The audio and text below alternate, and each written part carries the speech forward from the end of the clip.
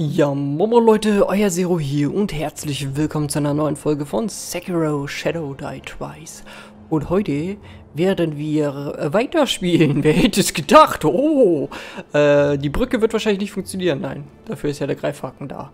Äh, welche Taste war das nochmal? Äh.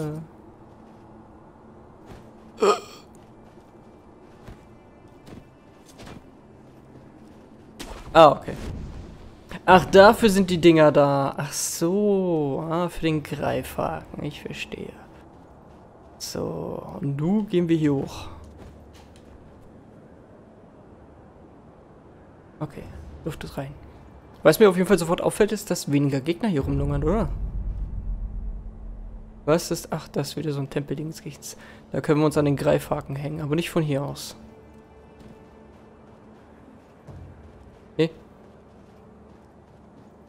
Ja, was? Da war es doch jetzt. das ist ja manchmal ein bisschen seltsam.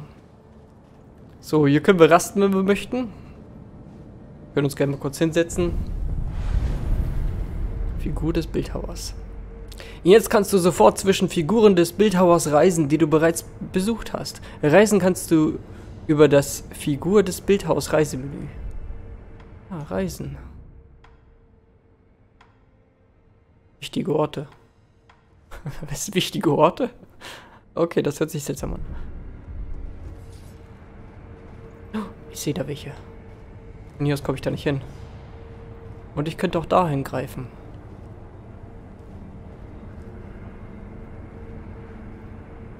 Oh, ich kann überall hingreifen, wo ich möchte. Was ist das cool. Was ist das cool. Aber von oben kann ich nicht runterspringen, oder? Ich hab's gerade gesagt! Du kannst heimliche Todesschläge gegen unachtsame Feinde einsetzen. Ein solcher Todesschlag ist der tödliche Sturzangriff, bei dem du von oben auf einen Feind runterspringst. Anvisieren, springen, angreifen. Oh Gott. Anvisieren, äh, springen, angreifen. Holy shit, ist das geil. Feinde lassen Beute wie Objekte und Geld fallen. Du kannst Beute von mehreren Feinden und aus der Distanz sammeln. Gefundene Objekte sind anders. Zum Aufnehmen musst du äh, dich ihnen nähern. X drücken und halten, Beute einsammeln, nah bei Weltobjekt, X drücken, Objekt auf. Okay, okay, okay. Das heißt, ich gehe hin und drücke X. Hallo? Drück X?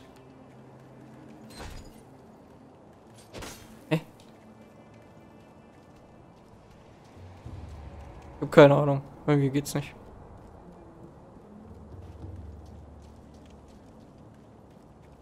Drück doch X.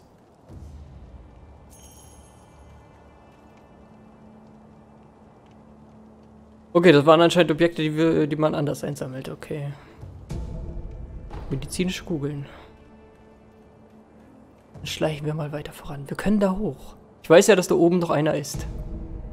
Keramiksplitter. Ein Stück Keramik, das bei einem Wurf mit einem kräftigen Knacken zerbricht. Wirf es auf Feinde, um sie abzulenken. Das Werfen und Zertrümmern dieser Stücke war unter den Kindern von Ashira sehr beliebt. Selbst als Erwachsene erinnern sie sich noch gerne an die alten Spiele. Aber erst gehe ich da hoch. Oh, ich liebe dieses Spiel jetzt schon. Ich glaube, ich wurde gesehen. Ich bin mir nicht so sicher.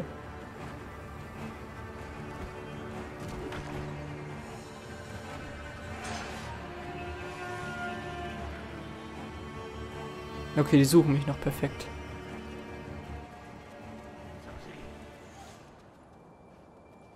Einen könnte ich so ausschalten, oder ich warte, bis sie sich trennen. Na los, trennt euch, Leute. Trennt euch.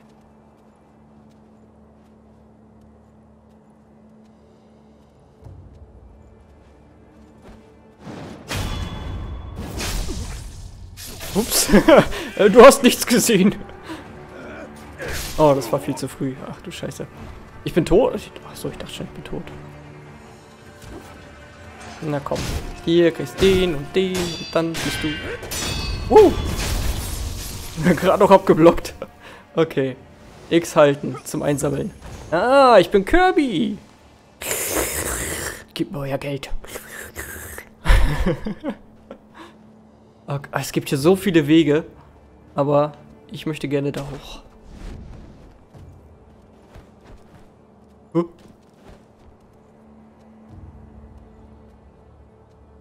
Guck mal da. Dem werden wir einmal kurz eine kleine Überraschung bieten. Ne, Kollege? So. Ach, Gel okay, Geld ist einfach nur eine Währung anscheinend.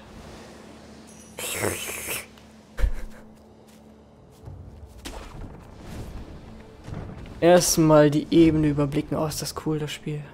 Ich kann es immer nur wieder sagen. Okay, die bewachen Loot. Äh, wenn ich den linken zuerst töte und dann den rechten, könnte das funktionieren. Aber erst schalten wir den hier aus.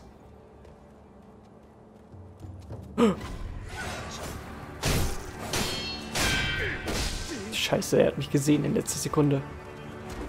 Äh. Oh Gott. Kannst verschiedene Schnellobjekte durchblättern, je nach Situation verwenden. Wenn du zum Beispiel Schaden erlitten hast, kannst du mit deinen heilenden Kürbisflasche Vitalität wiederherstellen. Ja, das ist, äh, ist mir bewusst, aber ich töte ihn erstmal.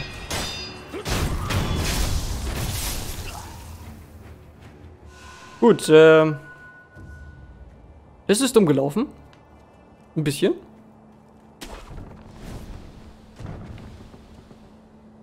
Nichtsdestotrotz versuche ich es trotzdem. Aha. Okay. So, ist hier noch irgendjemand? Erstmal umsehen. Ich will nicht, dass mich irgendjemand überrascht. Das Problem ist wohl, ich muss mich da anschleichen. Ich muss sie eigentlich nicht töten, aber ich will auch das Geld haben, ne? Ganz klar. Oh Gott. Ach. Dreckiger Hund, du. Ich habe mich extra umgesehen. Oh.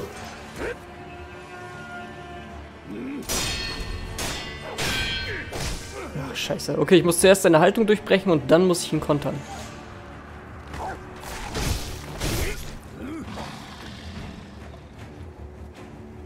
Ich habe nicht mehr viel Leben. Also komm. Du dich.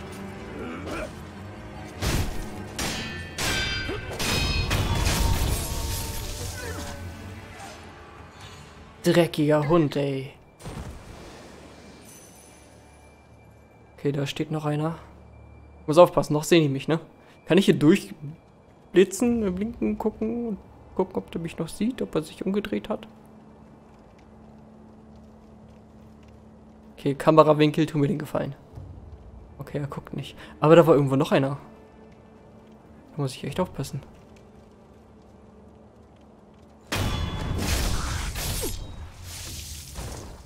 Da ist der Kollege, okay. Erstmal einsaugen. Nom nom nom nom. Hand voll Asche. Und Kügelchen. Ja, ich könnte mich mit den Kügelchen jetzt auch eigentlich heilen, ne? Ja, komm, was soll's. Okay, Regeneration. Ich wollte gerade sagen, was soll denn der Scheiß? okay, warten wir kurz ab. Ich will den Loot haben. Der wird sich höchstwahrscheinlich umdrehen. Und in dem Moment kommen wir angeschlichen. Oder kann ich auf ihn raufspringen? Ja, dreh dich um. Los. Was? Tu mir den Gefallen.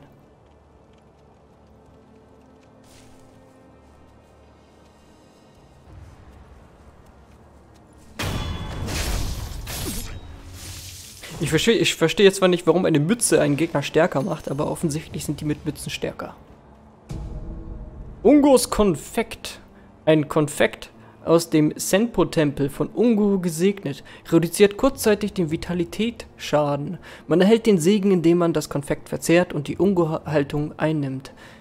Der Geiststurz entstammt dem Übermaß an Karma des Menschen. Man muss hart auf das Konfekt beißen und es ertragen. Die Senpo-Mönche verteilen dieses Konfekt in China als Tribut an ihre Militärhelden.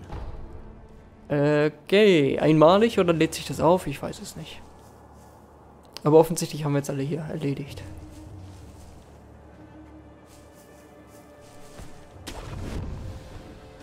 Okay, man kann das Ganze auch schön im Sprung einsetzen, das finde ich gut. Habe ich hier irgendwas vergessen? Ich will hier nichts vergessen haben, ich will alles mitnehmen. Ich glaube, wir haben eigentlich alles, ne?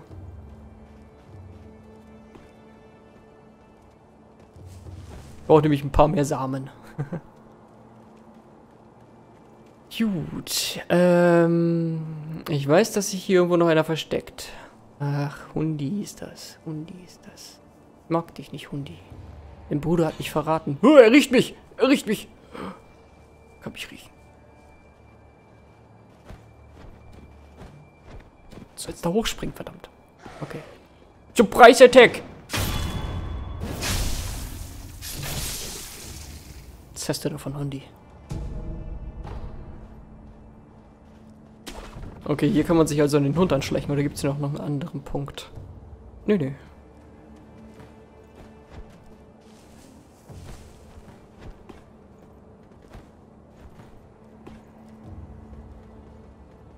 Da unten war aber nichts mehr weiter, ne?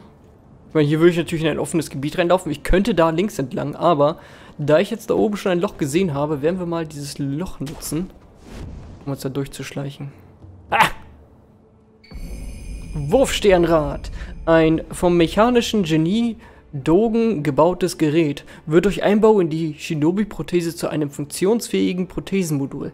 Es passen überraschend viele Wurfsterne ins handtellergroße Wurfsternrad, da die Ränder zum Stapeln gedacht sind. Ein gutes Beispiel dafür, was durch Kombinieren von Feinmechanik mit dem Talent eines Shinobi entsteht. Shinobi-Module sind nicht allein einsetzbar. Gib sie dem Bildhauer, damit er sie in die Shinobi-Prothese einbauen kann. Du kannst durch Reisen von einer Figur des Bildhauers aus oder mit der Heimkehrfigur schnell zum Bildhauer zurückkehren.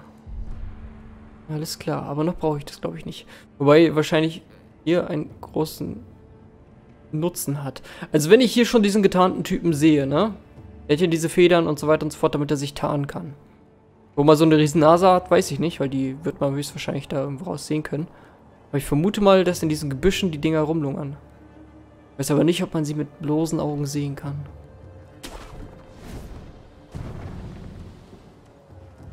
Öh. Bist du denn?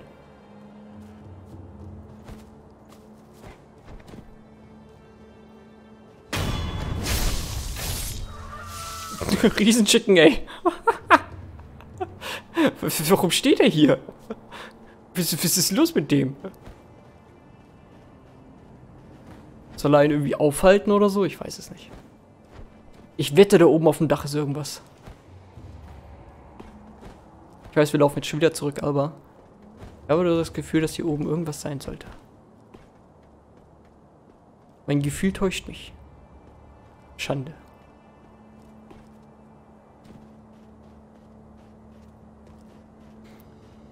So, wo ist der nächste Checkpoint? Den könnte ich gut gebrauchen.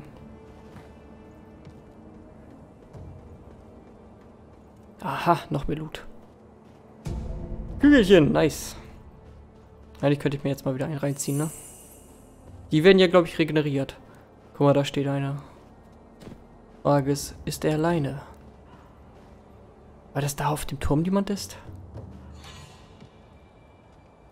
Hallo? Undi? Schlimmer.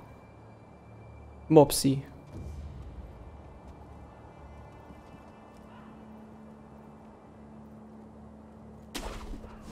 Surprise. Gucken wir mal. Ich habe ihn nicht anvisiert. Gefährliche Angriffe. Ach du Scheiße. Manche Feinde wenden gefährliche Angriffe an, die nicht ab, äh, an die nicht abgewehrt werden können und durch ein Gefahrsymbol zu erkennen sind.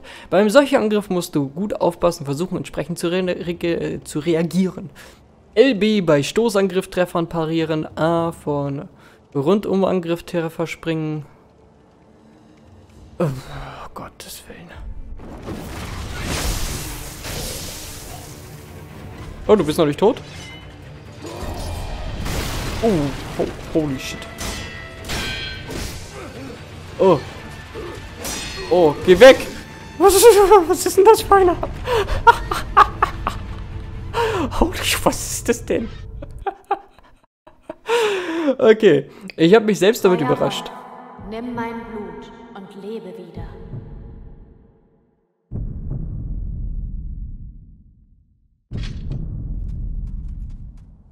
Sterben, auferstehen. Äh, okay. Errungenschaft freigeschaltet, Auferstehung. Mit dem Blut des göttlichen Erben kannst du durch Auferstehungsmacht von den Toten zurückkehren. Eine Ladung wird durch Rasten bei einer Figur des Bildhauers wiederhergestellt. Besiege Feinde für weitere. Nach ihrem Einsatz kannst du sie erst wieder nutzen, indem du Gegner ausschaltest oder Todesschläge ausführst.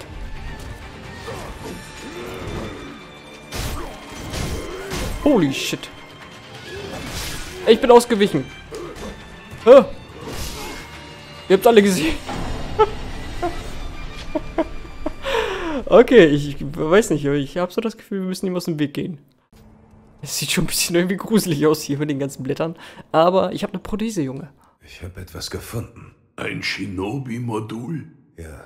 Ich habe dir bereits erzählt, dass deine Prothese ein Fangzahn ist. Und durch den Einbau von passenden Shinobi-Modulen in deinen Arm kannst du die Form dieses Zahns verändern. Feste Schilde, mach Kleinholz aus ihnen. Flinke Gegner, erledige sie aus der Ferne. Je mehr Module du hast, desto mehr Möglichkeiten hast du, deine Feinde zu besiegen. Wenn jemand erledigt werden muss, gibt es dafür auch das passende Modul. So einfach ist das. Anscheinend wisst ihr eine Menge über die Prothese. Ich sollte mich beruhigen. Je länger ich von Blut spreche, desto dämonischer werden meine Skulpturen. Gib her, ich baue das Modul für dich ein.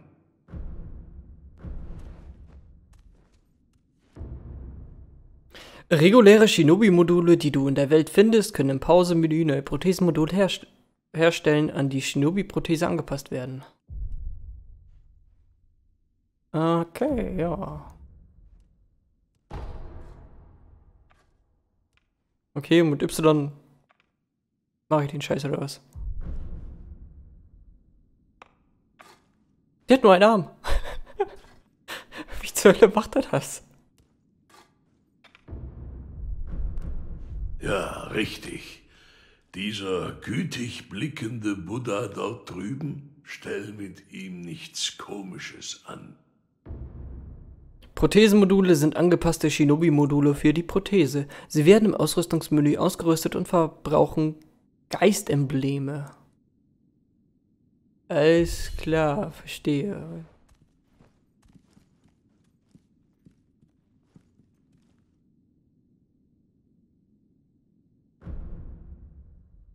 Äh, Prothesenmodul, Ausrüstungsplätze wurden freigeschaltet. Es gibt drei Plätze, um Prothesenmodule nach Bedarf auszurüsten oder zu wechseln. In der Ausrüstungsauswahl ist die Steuerung mit Y einsehbar.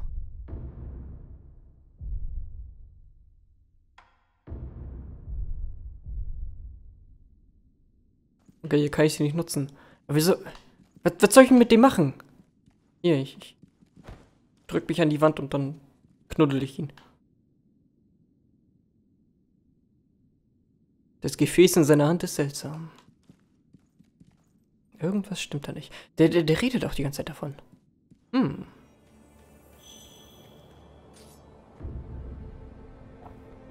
Geistembleme werden zum Aktivieren von Prothesenmodule benötigt und bei jedem Einsatz verbraucht.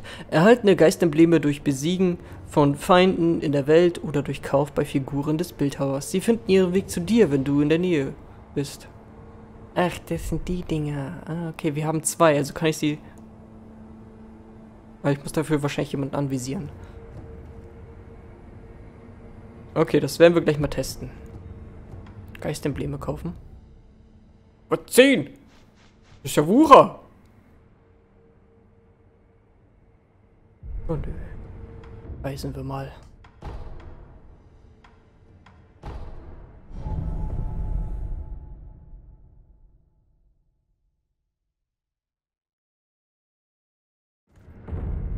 Okay. Suchen wir ein williges Opfer. Du bist ein williges Opfer. Ich check die Prothese nicht.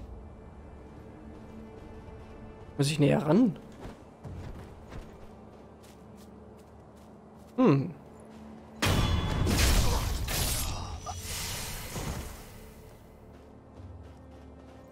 Hm.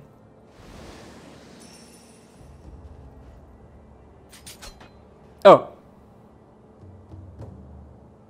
Ich sehe. Okay. Ach, mit Y wechsle ich durch. Ach. Du. Take these. Oh, das äh, macht nicht wirklich viel Schaden. Okay. Ich habe einen Plan entwickelt, um ihn fertig zu machen. Er ist zwar ein bisschen kacke. Er ist auch unfair. Aber weißt du was? Es ist mir egal. Zuerst. Und dann laufe ich weg.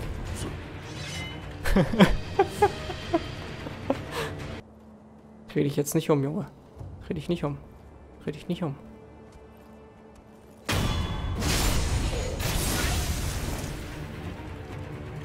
Wieder lebt doch. Oh, ich muss ihn wirklich bekämpfen.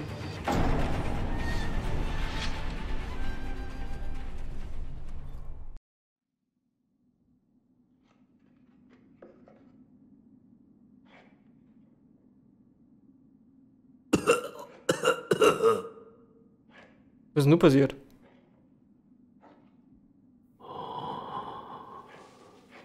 Bin schon wieder hier unterm Teppich.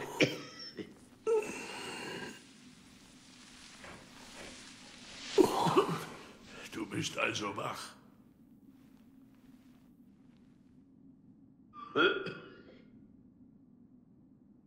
Es scheint das Schicksal will dich immer noch nicht tot sehen.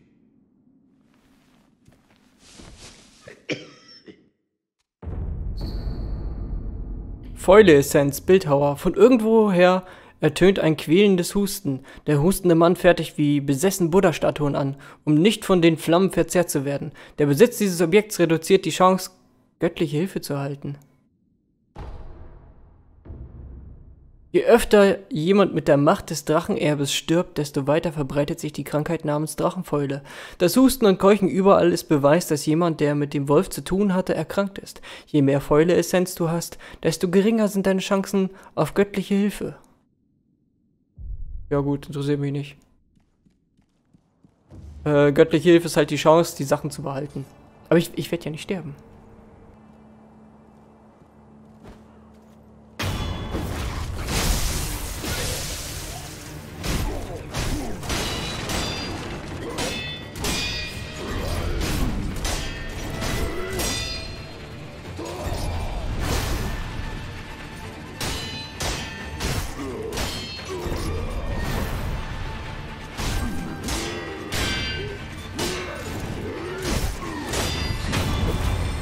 Jetzt habe ich dich, du Sack.